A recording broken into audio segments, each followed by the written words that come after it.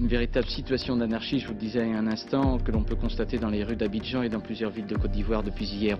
L'attaque avait pour cible la résidence privée du général Robert Guerre. La Côte d'Ivoire pourrait demander l'aide militaire de la France ce soir. Le couvre-feu a été décrété sur tout le pays. À nouveau, les armes ont parlé dans les rues d'Abidjan.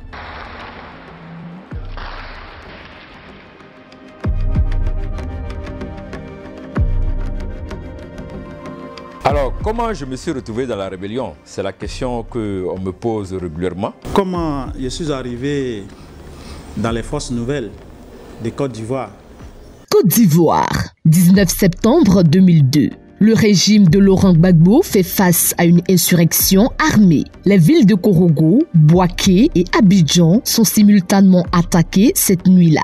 S'ils sont repoussés d'Abidjan, les assaillants gardent par contre le contrôle de Korogo et Boaké. Une à une, les villes du centre, du nord et de l'ouest sont conquises par trois mouvements armés qui fusionneront plus tard pour devenir les forces nouvelles. Pour le FPI, parti au pouvoir, ces attaques sont l'œuvre d'un farouche opposant. J'étais frustré de ce que le RDA avait subi tout ce temps et ce que aussi son leader avait subi avec l'élection présidentielle de 2000. Tous qui étions militants du RDR, on était étudiants déjà, nous étions choqués de voir que le Premier ministre Alassane Ouattara était exclu du jeu électoral, du jeu politique démocratique.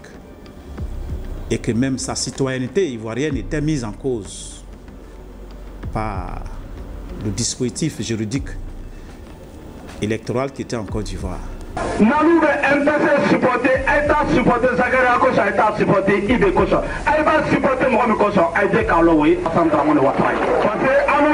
Et donc quand ils m'ont dit qu'ils étaient venus pour ça, cela m'a motivé.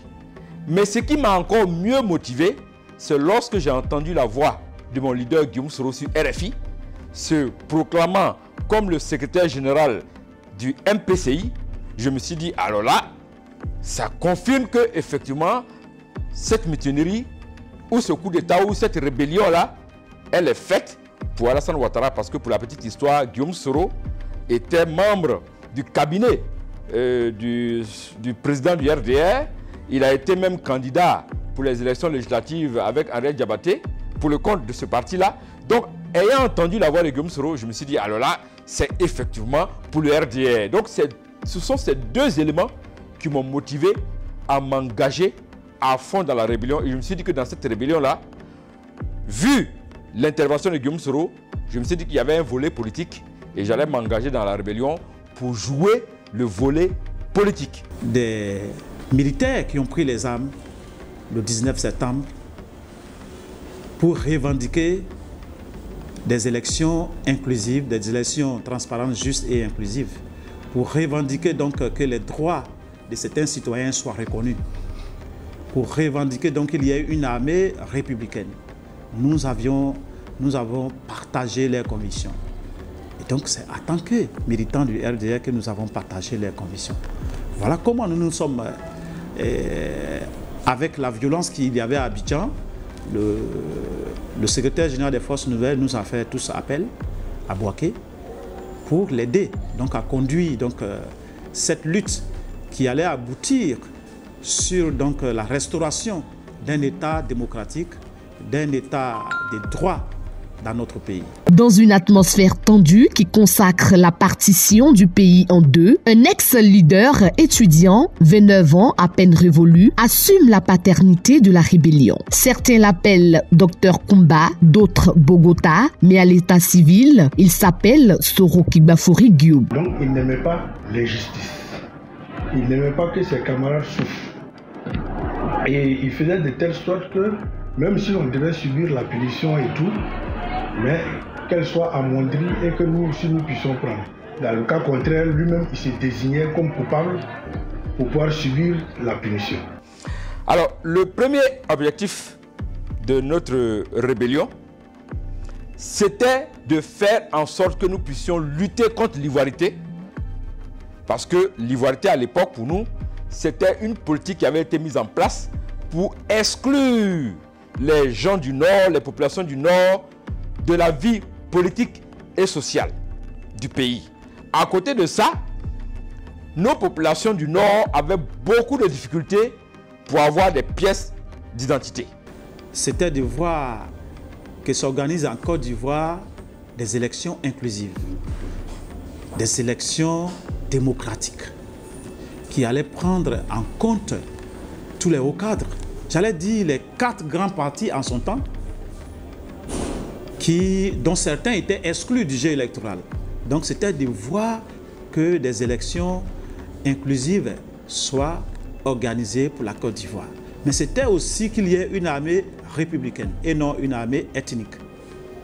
Une armée républicaine parce que ceux qui ont pris les armes, ce sont ceux-là, donc une bonne partie, sont donc des membres des forces armées nationales de Côte d'Ivoire qui ont été eh, pris à partie par le régime qui était là et ils étaient exilés.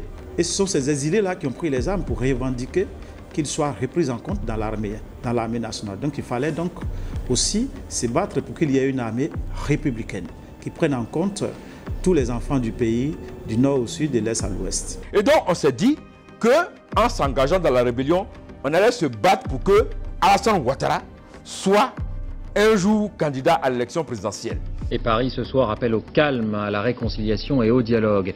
Un espoir en revanche justement en Côte d'Ivoire. Le président Gbagbo a accepté l'accord de paix de Pretoria et en particulier l'une de ses clauses les plus sensibles, la participation à l'élection présidentielle d'octobre du principal opposant Alassane Ouattara. Jusqu'à présent, ce dernier était récusé en raison de ses origines burkinabées. En échange, Laurent Gbagbo exige le désarmement des rebelles. Alors, est-ce que ces revendications ont été obtenues? Je dirais en partie oui.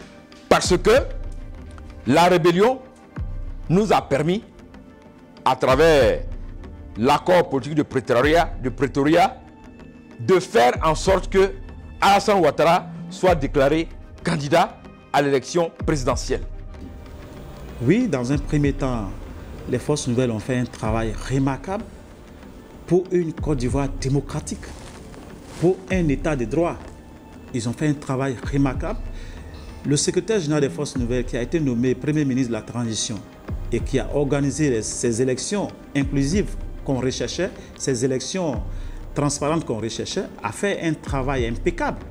C'est la première fois, c'était la première fois dans l'histoire de la Côte d'Ivoire que les grands acteurs politiques, les grands animateurs de la vie politique des différents partis se soient retrouvés dans une élection et ont compétit sereinement et ont expliqué aux Ivoiriens les mobiles de leur, de leur vision, leur vision politique pour diriger le pays.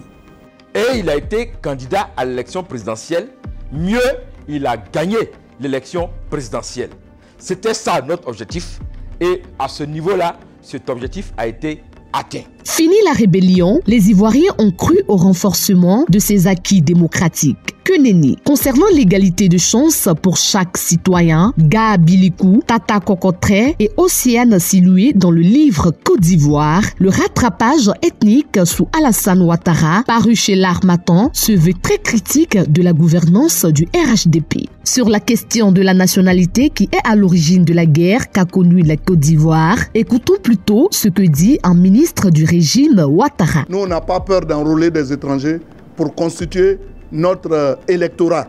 Nous avons confiance en nous. Ironie du sort, c'est celui qui fut autorisé à se présenter comme candidat grâce à l'article 48 de la Constitution en 2010 qui a exclu dix ans plus tard Laurent Gbagbo et Guillaume Soro des élections.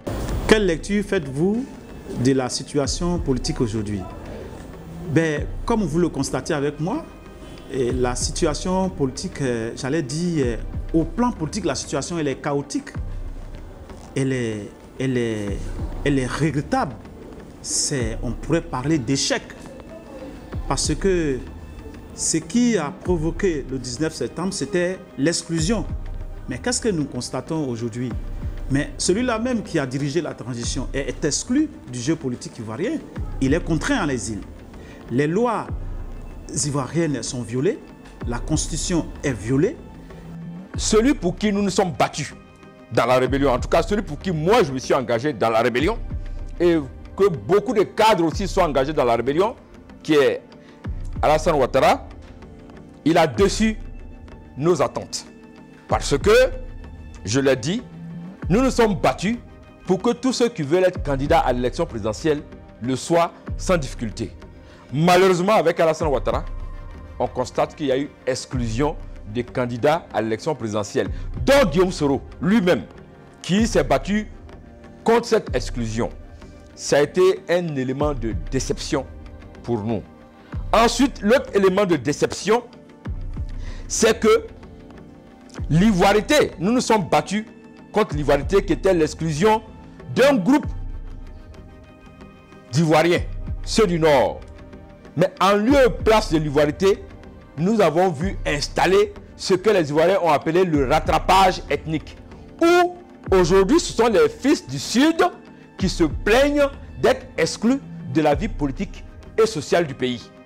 Et là, ce n'était pas ça notre objectif. La Constitution dit qu'un Ivoirien ne saurait être contraint en exil, mais le président euh, Sorok Bafori qui a été président de l'Assemblée nationale de la République de Côte d'Ivoire, est exclu du jeu, il est contraint en exil depuis 4 ans aujourd'hui. Comment, euh, comment tous ses collaborateurs, la plupart sont en prison. Une partie de sa famille a été emprisonnée. C'est du jamais vu dans l'histoire de la Côte d'Ivoire.